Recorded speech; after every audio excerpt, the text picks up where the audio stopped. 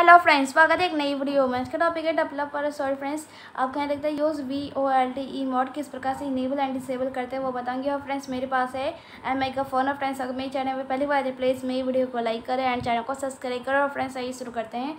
सबसे पहले आपको सेटिंग का ओपन करना होगा। सेटिंग का ओपन करने के बाद आपको सिम कार्ड मोबाइल नेटवर्क पर क्लिक कर देना एंड अगर आपके में सिम है डला हुआ तो फ्रेंड्स आपका V O L T E mode enable होगा एंड डिसेबल भी।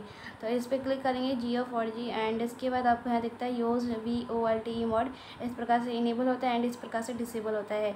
एंड इनेबल करने से अगर ऑन करके रखें तो आपका जो इसका इसका मतलब होता है कि आपकी जो वॉइस कॉल होता है कॉल में जब आपके कॉल आप कॉल करते हैं तो आपकी जो वॉइस अच्छी आती है, इसकी क्वालिटी और कॉल वॉइस के लिए क्वालिटी अच्छी होती है, इसलिए इसको इनेबल करते हैं। एंड इस प्रकार से ऑफ़ करेंगे तो नहीं होगा, इस प्रकार से ऑन करते तो ज़्यादा अच्छा आती है वॉइस क्वालिटी तो फ्रेंड्स इसी प्रकार से आप अपने फ़ोन में V O L T mode को इनेबल एंड डिसेबल कर सकते हैं। फ्रेंड्स प्लीज़ मेरी वीडियो को लाइक करें एंड चैनल को सब्सक्राइब करें। फ्रेंड्स तब तक नमस्कार।